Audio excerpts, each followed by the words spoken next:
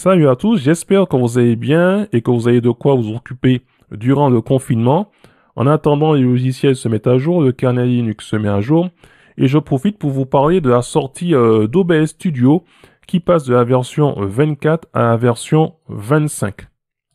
Donc c'est ce logiciel qui me permet d'enregistrer cette vidéo, donc un, logiciel libre et open source d'enregistrement vidéo et de streaming en direct que vous allez pouvoir retrouver sous Windows, sous Mac et sous Linux avec la possibilité euh, d'avoir le contrôle des paramètres de ceux qui seront, on va dire, affichés à l'écran et d'arranger, on va dire, euh, les fenêtres de ce que vous souhaitez, on va dire, montrer, que ce soit euh, votre fenêtre de jeu, de bureau ou votre fenêtre de webcam.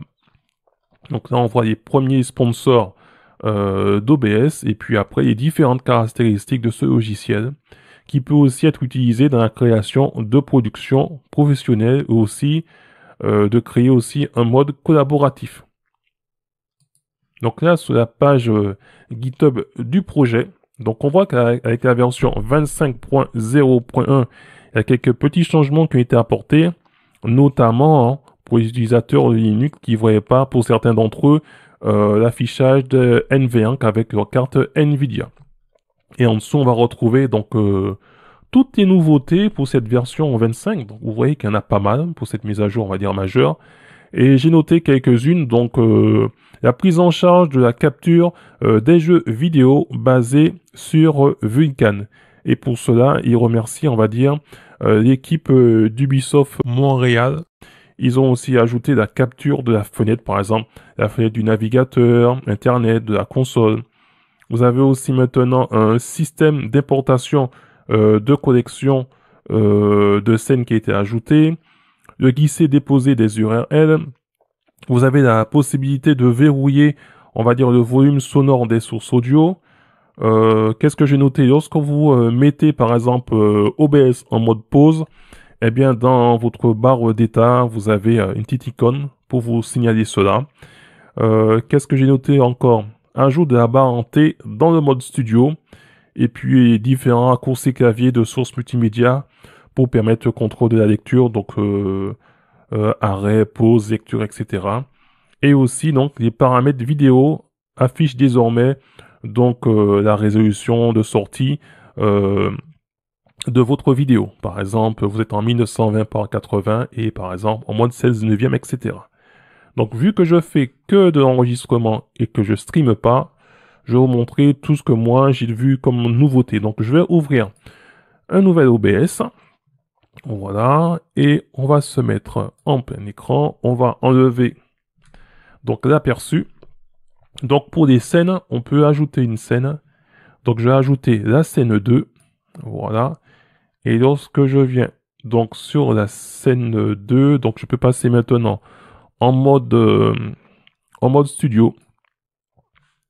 Et on va mettre la scène 1 ici. Donc vous avez cette transition, ce fondu que vous pouvez maintenant euh, régler, on va dire, à votre convenance. Donc je peux sortir de la scène 2, je vais la supprimer. Voilà. On sort de là. Vous avez maintenant, donc je disais, euh, on peut capturer des fenêtres composites. Hein. Donc je vais faire cela. On va monter ici un petit peu. Et on va aller dans les préférences. Donc soit je peux capturer donc, le tableau de bord inférieur. Je peux aussi capturer euh, Firefox.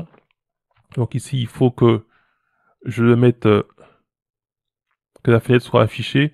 Et si je reviens maintenant dans le bon OBS, voilà, donc là on voit que je peux capturer maintenant la fenêtre de Firefox. Si j'ouvre maintenant un autre navigateur euh, Internet, je peux lancer par exemple Google Chrome.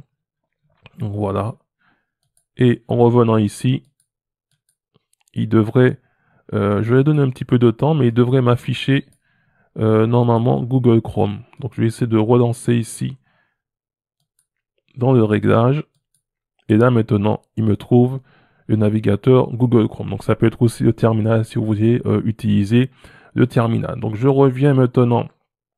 Donc j'ai plus besoin de la fenêtre de composite. Voilà. On a maintenant la capture audio, donc je peux euh, modifier ici le volume et je peux euh, contrôler, donc je peux verrouiller le volume. Ainsi, si vous avez fait votre réglage, eh bien, vous risquez pas d'avoir d'accident en faisant glisser malencontreusement la souris. Donc là, votre volume audio est verrouillé. Vous faites par exemple votre réglage et après, pour que ça puisse plus bouger, vous, verrouillez donc le volume sonore. Donc ça, c'était partie ça fait partie des nouveautés. On va maintenant aller dans les euh, paramètres. Donc les paramètres, on retrouve, euh, donc ça, ça n'a pas vraiment trop changé. Pour le stream, donc les services, tous ceux qui streament, donc on va retrouver la liste ici.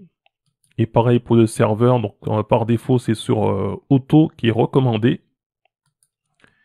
Et après, pour tout ce qui concerne les sorties, donc si vous avez une carte graphique euh, Nvidia comme moi, donc ce sera ici.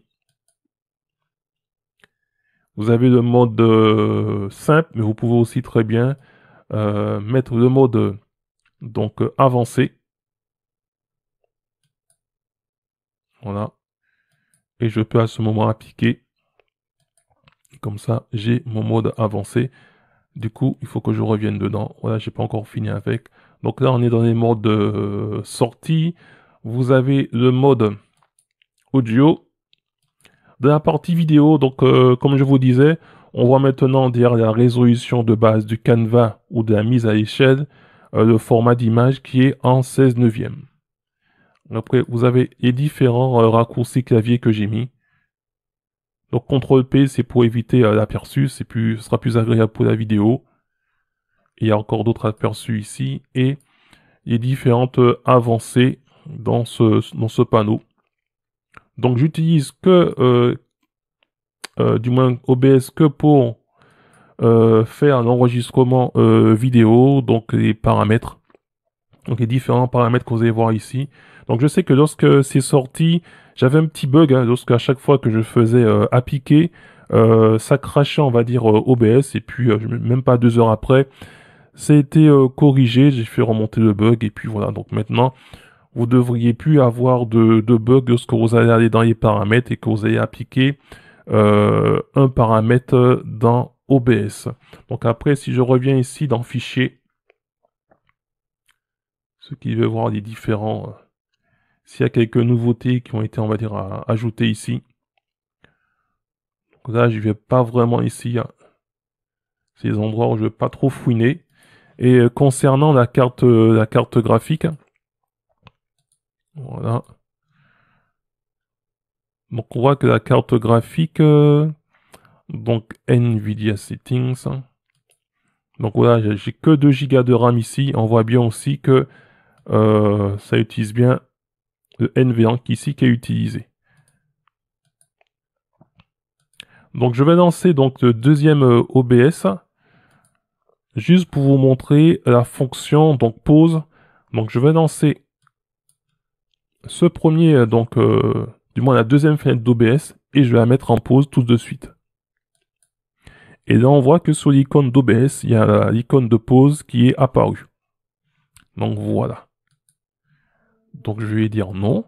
Donc voilà, c'était simplement pour vous parler des différentes euh, fonctionnalités qui ont été rajoutées sur OBS. Donc n'hésitez pas à visiter la page GitHub du projet si vous voulez avoir plus d'infos, de visiter on va dire le forum, etc.